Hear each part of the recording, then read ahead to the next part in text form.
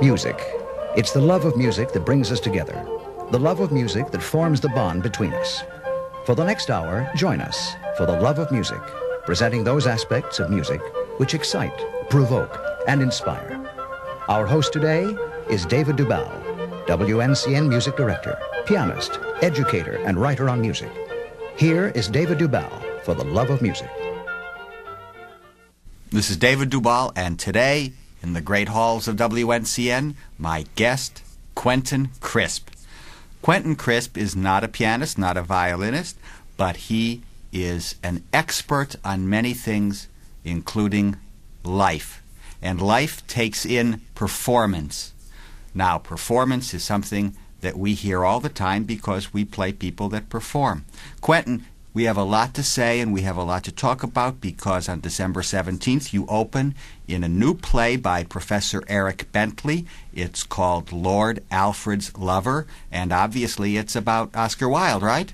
That's right. It's about Oscar Wilde. I play the part of the elderly Lord Alfred, Uh-huh. and I sit beside the stage and explain the action which goes on on the stage between um, the young Lord Alfred, Oscar Wilde, and various other people. Yes. So you go from just before his um, arrest to the time when he is about to die in the middle of Paris. Now, Oscar Wilde died in uh, approximately 1905, correct? No, in 1900. 1900, even earlier. So he was quite a young man, actually, when he, he died. Probably about 42. Most people just have no idea then how young he was and how much then he accomplished in a short life, including touring America and so forth as a lecturer. Now, this play by Eric Bentley will be opening December 17th. It will have a run until January 9th. It will be at the New Vic Theater in New York City, which is at 13th and 14th Streets on 2nd Avenue. And I truly encourage the audience to go see this play because Quentin Crisp is quite an actor. Now, tell me, Quentin, when did you begin your career as an actor? I know that I know you as a writer and a speaker. Well, I didn't really ever have a career as an actor. I have been in two or three movies, which I think it would be polite to call experimental. Mm-hmm. The last of these was called Hamlet, and was made by a man called Mr. Coronado. Worse, Celestino Coronado. and if you didn't know the story of Hamlet, you couldn't follow the film. It is a series of lurid images explaining Mr. Coronado's view of the complexities in Mr. Hamlet's character. The man playing Mr. Hamlet was naked throughout the play, um, which is another kind of modernism. Yes. But it did have an ace in the hole, which is that Hamlet was played by the Meyer brothers. And future generations will sit up all night wondering how the double exposures were done. How interesting. But there aren't any. The ah. Meyer brothers look exactly alike. Quentin, you have said that performing, the act of performing, is a very important activity. What do you mean exactly? Well, the situation in which you find yourself if you're a solo performer is that you are the one among the many. Mm-hmm. And as I see it, this is the only thing that the stage can now do, which the movies cannot do.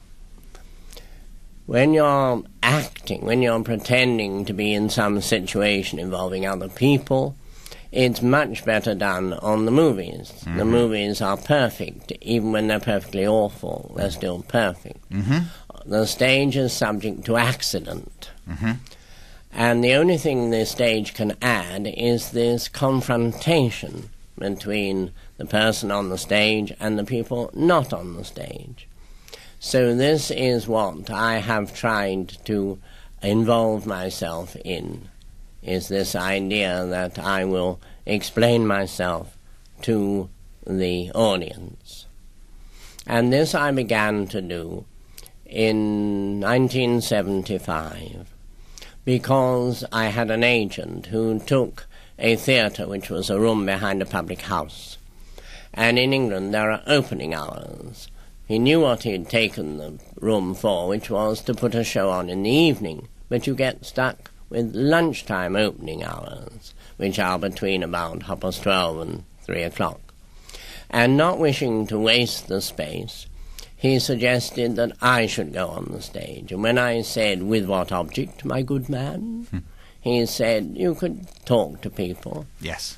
And so this is what I've done ever since. And you love it, don't you? Yes, I do like it. I like to be with people. If I ever had an ambition, it was to meet everybody in the world before I die. And you come nearest to doing this if you go on the stage. I want to ask you this. Now, you you came to fame, celebrity, uh, not through your autobiography called The Naked Civil Servant, which is a wonderful book and which will be out again in paperback. It's out of print this moment, but in the spring it shall be out again. And you have written other books, but you have become famous through that amazing thing called film. And uh, they took your autobiography, The Na- Naked Civil Servant, Thames Television, and they made this into a, a wonderful um, hour long or more, I think, uh, presentation, and it's played there and it's played in America. And I know that, and I'm wondering if it, if it surprises you because on the street you are recognized instantly. People come and talk to you. You have struck a chord. I don't know about England, but a definite chord in the psyche of New York City and perhaps America. Yes, this is um, this is to some extent true. It wasn't until the television uh, program was shown in England that my life altered significantly. The book altered it a little. I started to go and speak to groups of people who wanted to know how to write books or whatever. But it wasn't until the television play was shown that my life altered to the point where I went on the stage, even on to what in London are called West End stages. It's difficult to explain the West End. It is a mythical region to which the eyes of tired touring actresses are forever turned. and they say, we, we may come to the West End. And that Mm-hmm. means that you then triumphed. and I've been on two stages in the West End because really I am a, the ideal stopgap. If you have a play on which fails, what you want is someone who can go on tomorrow. No scenery, no rehearsals, no lighting calls, no anything. Mm-hmm. No, you just say, all right, I'll do it. When shall I start? And if they said in ten minutes' time, you could go straight on. Mm-hmm. So this is what is useful from the point of view of theatre managers. But it's useful in life, isn't it, to be able to just graze, to be able to improvise? Yes. Few people now have that because we're we seem to want and need to plan everything out. Life isn't planning, is it? Well, it becomes, performances become planned. That is to say, when I did it for uh, seven weeks on continuously, uh, then I found myself standing in the same position on the stage, wearing the same expression and saying the same things in the same way. Yes. It becomes more refined Yes. as time goes by. Less exciting, though? Well, in a way, m- more, less hazardous. Uh, the exciting part of the show is that the second half is given over to the audience, who in the interval are encouraged to write down their questions, which robs them of their shyness. It's quite difficult for some people to stand up, even in a theatre that holds only 500 people, and speak loud enough for you to be, to be heard on the stage. Yes. So, um, and also they've got their husbands sitting beside them saying, "Don't make a fool of yourself," Yes. and trying to get them to sit down. so that is hazardous. But if they write down their questions, then they needn't be identified with them if they don't want to. And also, when you've read out the first two or three questions and answered them, the audience knows that you will answer seriously whatever question is asked. They don't have to be profound. They don't have to be witty. and you do answer them seriously. And I've uh, heard these performances and talks, and I wish I could every day because that's how much fun and enlightening they are, Quentin. My guest is Quentin Crisp, and the first time we talked, we were saying to each other, um, I said, Well, do you, do you like classical music? And I think you said, Oh, I don't know a thing about it, or something like that. That's right. To me, there is really no such thing as classical music. Uh huh. There's only the noise you like and the noise you don't. Yes. I think we must remove from our lips the words good music. Mm-hmm. Uh, like, do you read good books? I mean, this we do not want. Yes, because you know, of course, it, that term classical music has gotten music into such trouble. I mean, really, the separation again.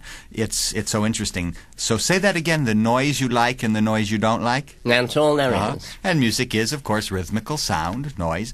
Uh, but the performers are awfully interesting, not only in the classical world, but in all kinds of music, and they become cult items. And some of them get in a little trouble when they cross over, because the first performance we're going to hear is by a man that you know of, Jose Iturbi. And he, he's going to play a Spanish piece. He made some fame as a Spanish interpreter, but he got in trouble when he took his celebrity as a quote classical artist and took it to the movies, where he became then a, bo- a box office celebrity. Now, the classical music profession never again felt too good about him. Let me hear a, a thing or two about Iturbi. Did you ever hear him play? Or I saw the movie. aha, The movie is called Thousands Cheer, and in it he played The Joint is Really Jumping down in Carnegie Hall. yes, And this, I think, was probably what distressed your little friends.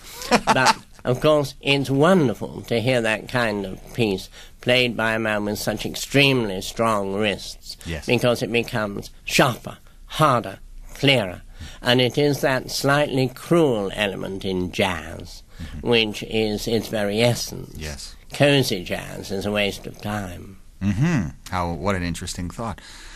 Uh, we're going to hear Iturbi, who uh, had such a big film career and a conducting career, and he's going to be playing a piece by a man called Isaac Albéniz, 1860 to 1909. So he didn't live too long. He left home at four years old, believe it or not, and traveled all around as a, he was a tremendous prodigy. No, at seven years old. At four, he played in public for the first time, and uh, he left and he, he played in cafes in Cuba. And then they found him and they brought him back through New York and then back to Spain. And he wrote a tango in D major, which is a famous tune. Now, I don't know, as we were talking before, if this is the tune that the Argentines use for their national anthem, because you told me their national anthem is a tango. Yes, it is. Well, it's a good form, the tango. And we're going to hear Jose Iturbi play Albéniz Tango in D.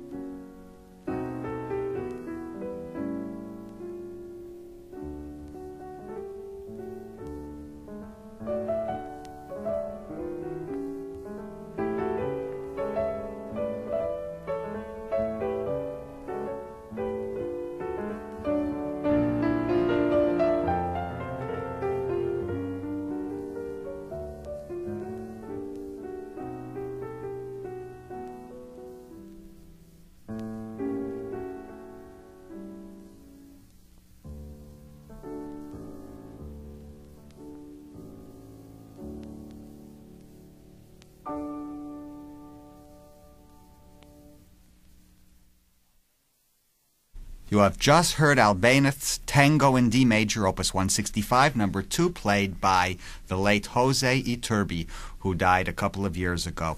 Uh, right after these messages and words, I will be back with my guest, Quentin Crisp. This is David Dubal. Today, my guest is Quentin Crisp, writer, speaker, and the author of two books on style. What a word! How to have a lifestyle and doing it with style. And doing it with style is by um, a co author, too, uh, Donald Carroll. And that's published by uh, Franklin Watts, am I right? That's right. Well, that's quite a book. And your uh, How to Have a Lifestyle is a wonderful book that I read of essays of, oh, Oscar Wilde. And Oscar Wilde um, will be the subject of Lord Alfred's Lover which is right. the play you open in at the New Vic Friday the 17th. Do you ever get worried that you're going to um, not have a success or whatever? I worry if I'm in a play because I worry for the sake of the other people. As I'm much too old to be able to learn lines, I tend to leave out lines or say the lines in a different order. Mm-hmm. And this is very worrying for other people on the stage with you. Uh-huh. If I'm by myself, I have nothing to lose. Yes. Quentin, and that is wonderful uh, because the, the being alone has something very, very wonderful about it. it yes. You're all on your own then. Uh, but what is this phrase, you're too old to learn lines. You do become too old to uh, keep them in your head. A lot of actors say they can learn the lines, but then they forget them almost immediately. Mm-hmm. And this is part of the process of growing old. But I don't think that you think ever of really growing old because life is, it presents itself at this moment, and this moment is life. This is true, but of course you are aware of your physical deterioration. Yes. And this you have to accept and even make the most of. Mm-hmm, mm-hmm. We're going to talk of other performers on this program. Um, one that is especially interesting to you, I think, because we discussed her. She was the most famous, probably, ballerina that ever lived, Anna Pavlova. Yes. Did you ever see her? I did indeed. I saw her dance, the famous dance called the Californian Poppy. and as long as she stayed on her point, she really didn't have to do much else. There weren't any wild steps in it by any means. And this was, of course, part of her art. She was not, even by the standards of those days, a great dancer. Right because she hadn't the physical strength. Mm-hmm. But so she made the most of her limitations. She embraced her weaknesses. And this she did by parading her frailty. She appeared in a spotlight, alone, on huge stages, wearing white and looking white. Mm. And the great part of her performance was that she looked as though she wouldn't get through the evening without a blood transfusion. Mm-hmm. This is what the English audiences wanted to see. This person who had sacrificed herself for her art. For ballet. And she brought this, this dance form everywhere. People that had never heard the name ballet were seeing Pavlova dance in places that nobody had ever even gotten to. From 1910 till into the 20s, she toured the world. There was no place with a stage that she didn't go to. Yes, she did take a whole troupe, which meant taking scenery, and she took them all over the world. She lived in the Grand Manner. She was the Paderewski of dance. Yes, I think she was. Why do, do some people have this sense of style that it goes beyond even their technical capacity. For instance, Paderewski could not play as well as his contemporaries physically, and yet he just drove the crowds wild. The same with Pavlova. It is, I think, a knowledge of yourself. The great pianists or the great mm, musical people of any kind, their main knowledge is their knowledge of the works they're playing. Mm-hmm. With the great performers, their study has been their study of themselves and how to appear to great advantage. You're, most of them have physical advantages. Uh, Mr. Iturbi, whom you mentioned earlier, was a handsome man. Yes. Mr. Paderewski was a significant looking man. Very. He could he could actually become and did the president of Poland. Yes, Think of a pianist ruling a nation. Mm. How dangerous. that's right. and with Pavlova, she had this beautiful, frail look. And they were aware of this, mm-hmm. and they cultivated it, and this is what made them great performers. And you know when a performer is greater than the performance if they are known to people outside their profession. Yes, absolutely. You could have gone on to the stage in the early 30s and said to someone who was dancing, Who do you think you are? Pavlova. Yes. And the audience would have laughed. Yes. Without any film, so to speak, without recordings, Pavlova's name is as famous today worldwide as any living dancer. Oh, yes. Paderewski still continues to be of interest to people. A new biography was just written. Now, you said something about the idea she looked so pale in a blood transfusion. Paderewski had this too. He was the ideal aesthetic looking character that the 90s, especially the 1890s in uh, in in London loved to see. When Burne Jones, the great painter, saw him from uh, a carriage, he said, "Oh my goodness, an angel! I must draw him." And indeed, he he he did do a magnificent silver point of him instantly. Things change, though, even in style of how how a public appreciates uh, the the consumptive virtuoso is no longer in fashion. The the uh, the more muscular type, the the Marlboro man. Am I right? There's Yes. changes in fashion. Oh, there's changes in fashion um, as to what is personal beauty. This goes on all the time. What's our thinking now on personal beauty? Uh, that it is sexual. Uh huh. um, sex, the word sexy would have been a term of blame in a time gone by. Oh, interesting. No one would have said they look sexy and meant it as praise. Mm-hmm. So that um, this is one of the, the main differences, of course, in um, the idea of beauty, are in the idea of a woman's beauty. Mm-hmm. Because they spend a great deal of time um, altering their appearances, altering their entire shape, Mm-hmm. and their hair, and either not wearing makeup because that's gone out, or wearing makeup because it's come in again. And this goes on forever and ever. I'm at the moment reviewing a book called American Beauty mm-hmm. by a Miss or Mrs. Banner, and she describes these changes between the idea of being spiritual or the idea of being the new woman, in uh-huh. other words, having a more useful view of life, mm-hmm. which altered their appearance, the, the clothes they wore, everything. How interesting. We're going to interrupt this talk to actually now hear one of the most famous pieces of music in the world. And perhaps it's not because it's such an important piece, but it has such a wonderful title The Swan. It's by Saint-Saëns, and it was one of the real triumphs of Pavlova's career. She was indeed that dying swan, wasn't she? That's right. and the world wanted to see her die on stage. And she did it everywhere.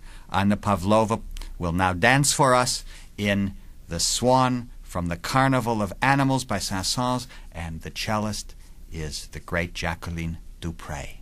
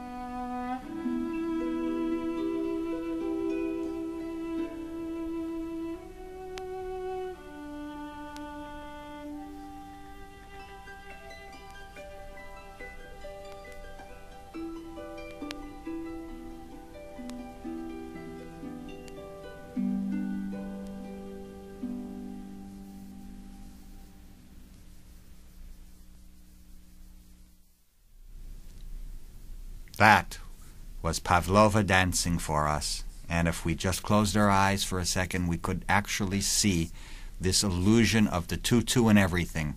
Right, Quentin? Yes, indeed. Quentin, we'll be right back after a few messages from our sponsors, and we'll continue talking about what you do.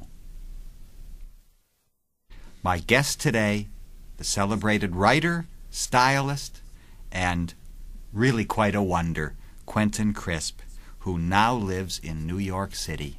How did that happen? It um, happened piece by piece. Uh-huh.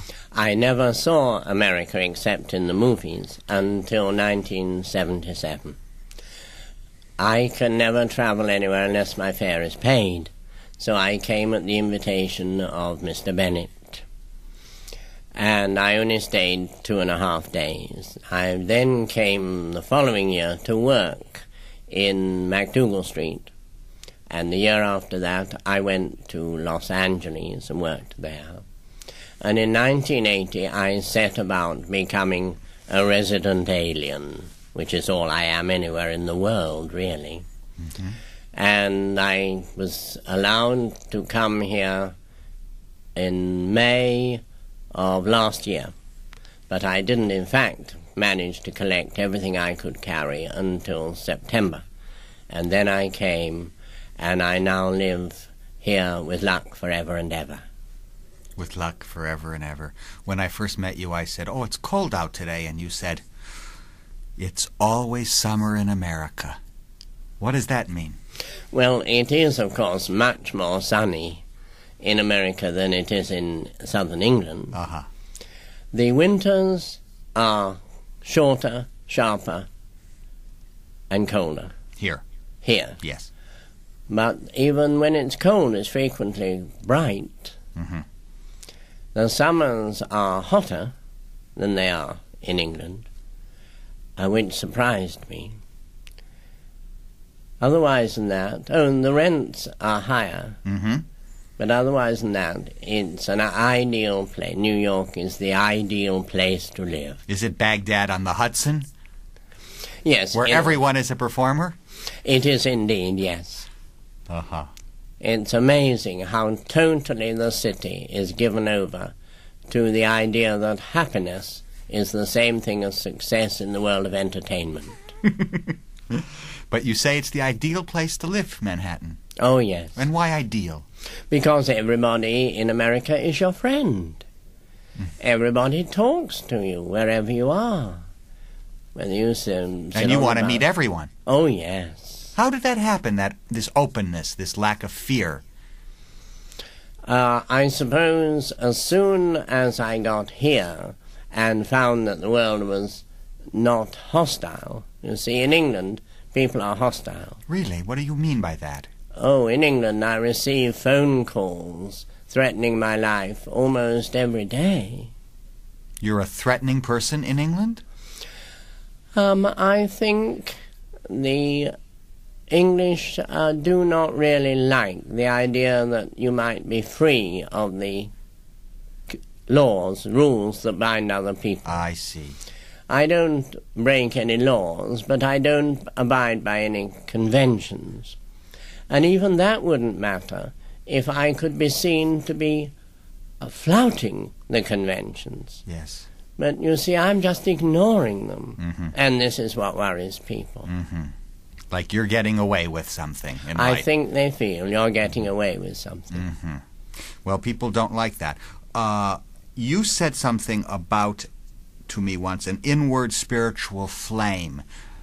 Do you think that a whole population can be characterized with having that or not having it? Do you think America has an inward flame? And to a much larger extent than anywhere else I've ever been. Mhm. But no, I don't think that will ever be a national characteristic. National traits. um, immediacy is the national style of America. Immediacy. Mm. Uh huh. And what does that mean? That means that what they want, they want now. Mm-hmm. And they are prepared to ask for it, and ask for it now. Mm-hmm. And, And what is the what is the asking for? What the music, the the food, or what is it they want? They want to know what life is like. Mhm. They want to know an answer. They want to be told some way in which they can triumph over the limitations of their lives. Mm-hmm. So the Americans have a transcendental gene in them working. I think they have, even when they don't recognize it. Mm-hmm. The mere theory that anybody can be president is already something that stirs the imagination, though I'm sure not one person in a thousand wishes to be president, Or really believes it. or perhaps even mm. believes mm. it. But they do feel that their life is open ended. Open ended. That's interesting. Uh, that well may be the, the great inner optimism that keeps it uh, that keeps it very creative here in many ways. Yes. I've often thought that this America is uh, the microcosm of the world. Everything that is going to happen anywhere will happen here first. Yes, I think this is true. Yes. Now, why, Quentin, have you touched the chord in so many people here? I have said, have you heard or read Quentin Crisp? And in all walks of life, people are. Uh, they're very involved with you. They they like you. They they want to know what you think. They listen closely, as I do. Well, they say in America that my books are how to books for losers, and they are. Uh huh. It is the fact that you do not have to triumph, Uh huh. which I think perhaps to some people I represent. That I do not have any money, Uh-huh. and that this does not worry me. That um, I am in certain quarters regarded as a disgrace. I don't think this matters. and people, I think, feel, well, if this is so for anyone, it could also be so for me. Perhaps I represent someone who hasn't um, either found or even sought the ordinary standards by which people tend to live.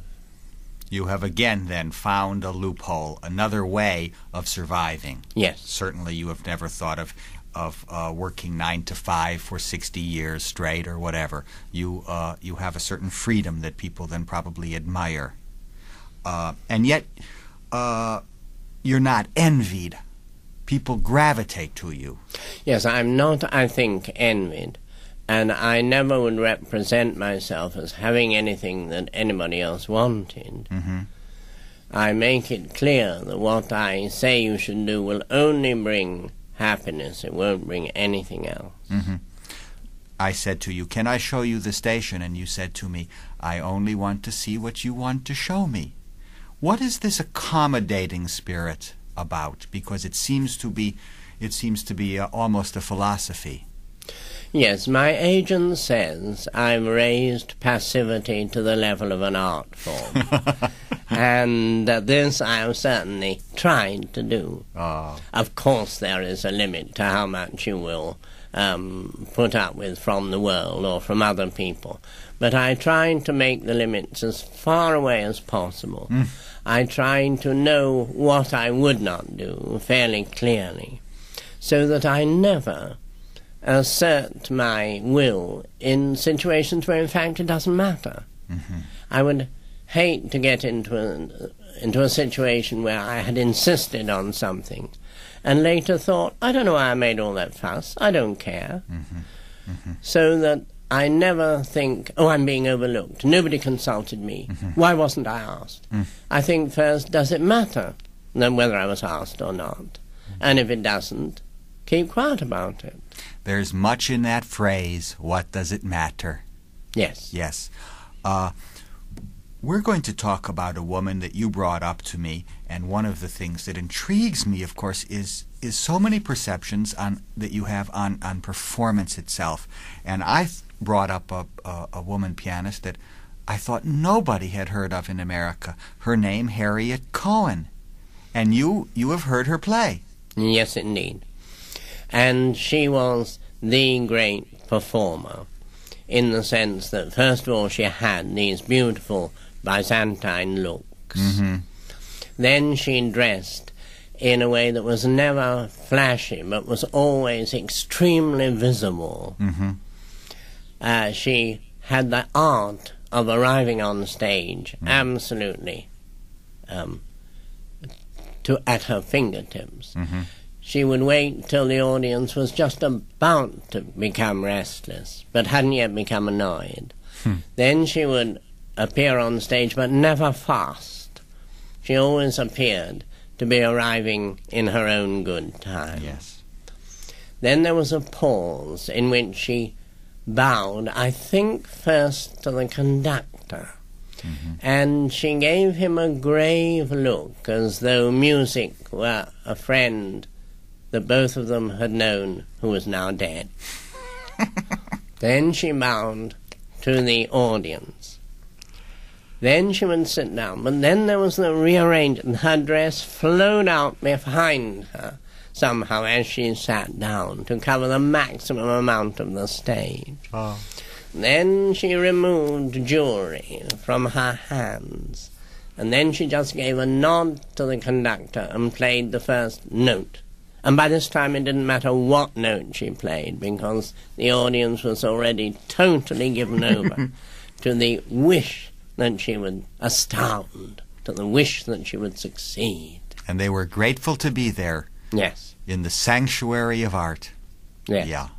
Uh, Harriet Cohen, there is a medal given out every year, the Harriet Cohen Medal, uh, to uh, pianists, and that's given in England. And um, she was quite a woman in that she was not only this great performer, but a musician that played contemporary music. She was the inspiration for the major piano works and gave the first performances of very difficult piano music by Sir Arnold Bax. And Bax uh, wrote very thickly and very awkwardly, and she had such a small little hand, and yet she could accommodate it to this kind of texture.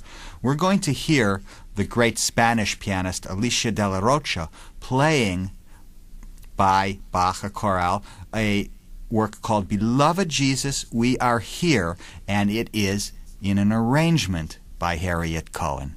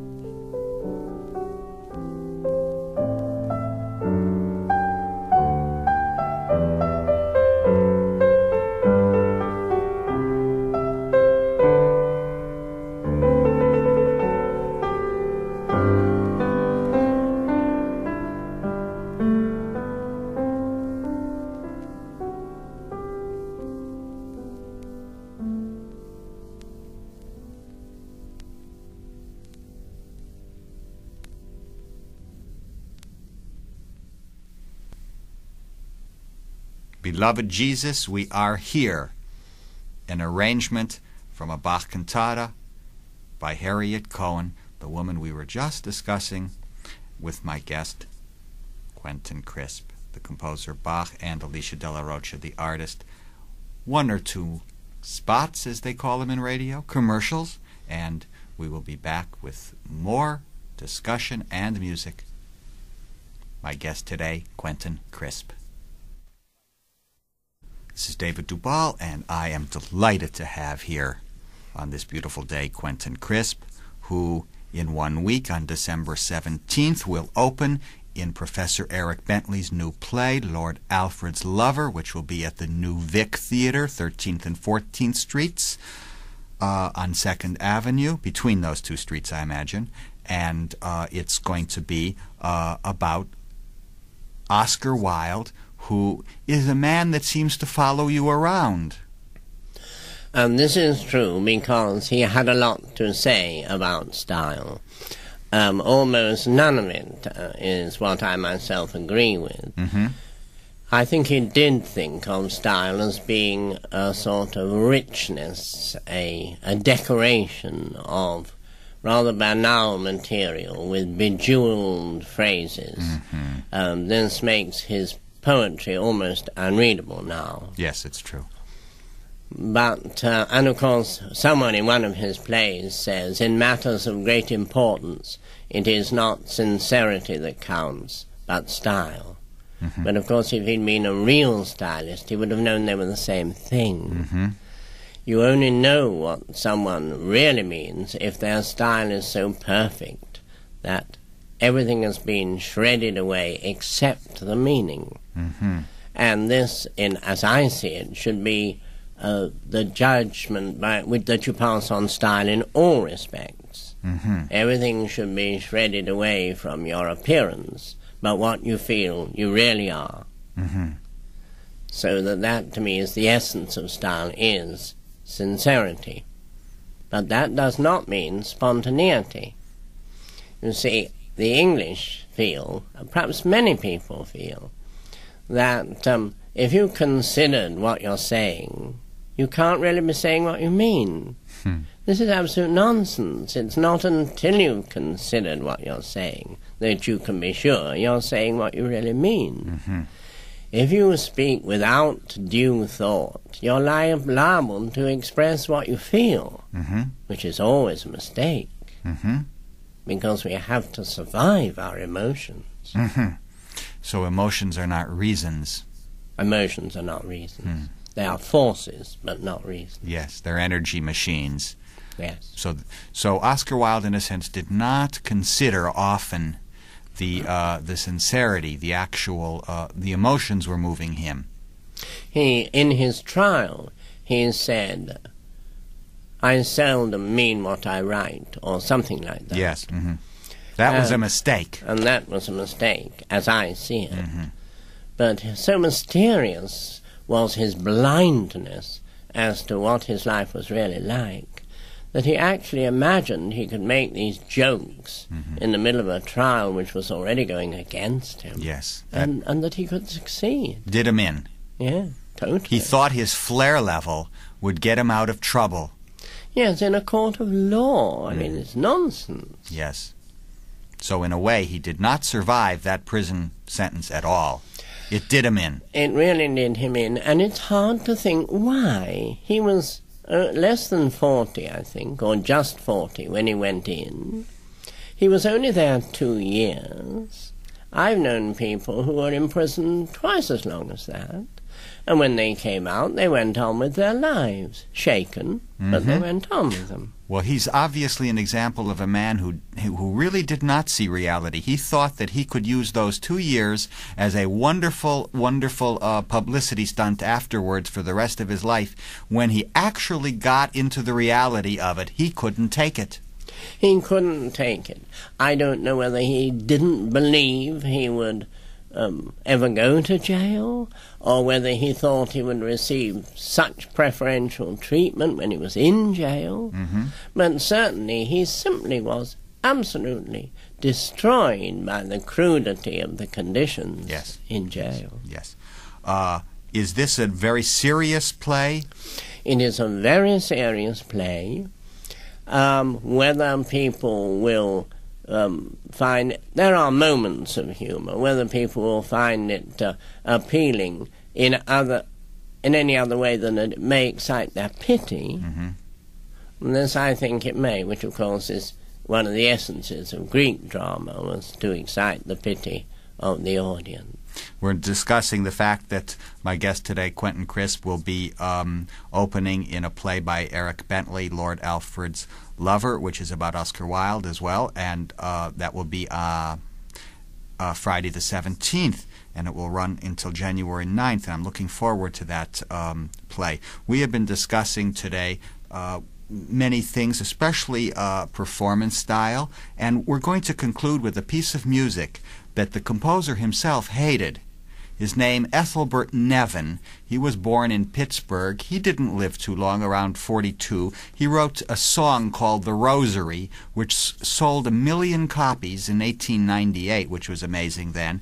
And it's a fairly bad piece of music. And he wrote a piano piece called Narcissus to the uh, flower. And that became a very big, stylish piece for all the people to play at home. And one of its before, of course, uh, records, everyone had to play for each other.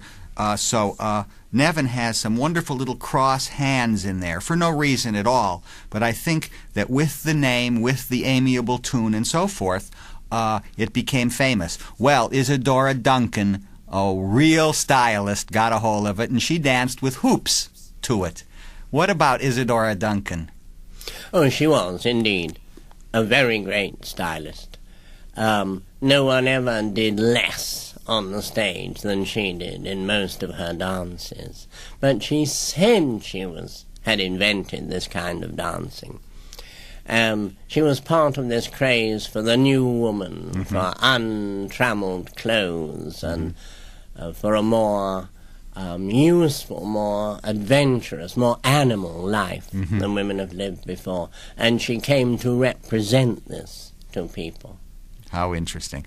Anyway, she then was a performer that, that understood the maxim uh, less is more. Yes. And um, Nevin saw her dance to the piece. It's only about two minutes and two seconds. And in this case, I myself give a fairly stylish performance of it.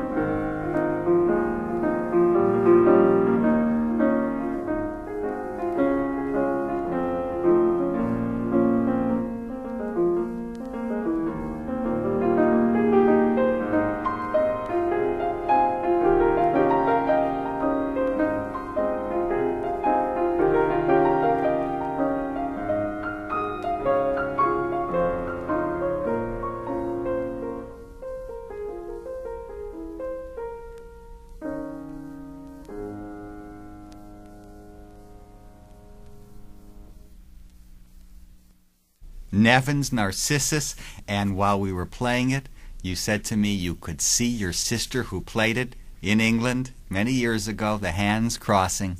That's right, yes. And MacDowell, too, was a biggie then, to a wild rose. That's right. How interesting. Now, we're going to conclude with you said, maybe I can solve a musical mystery about tuners. Oh, yes. All piano tuners, when they've tuned your piano and played all the chords and the arpeggios and got it right, they always play the rustles of spring. By Sinding. Yes. Yeah.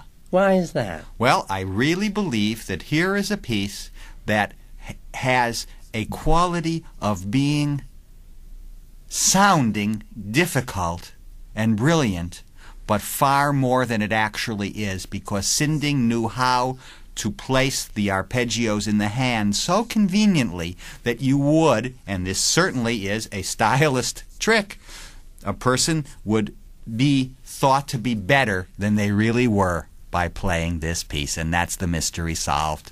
Quentin Crisp, thanks for being my guest, and the best of luck in Lord Alfred's Lover, Eric Bentley's new play, which will be at the New Vic, 13th and 14th um, Street, 2nd Avenue, and it's the 17th, and it will run till January 9th. Have a great time as you usually do. Thank you. This is David Dubal. Thank you for listening.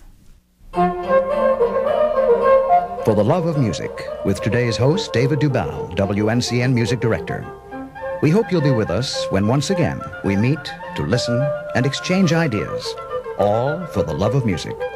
For the Love of Music is produced by WNCN New York, GAF Broadcasting Company.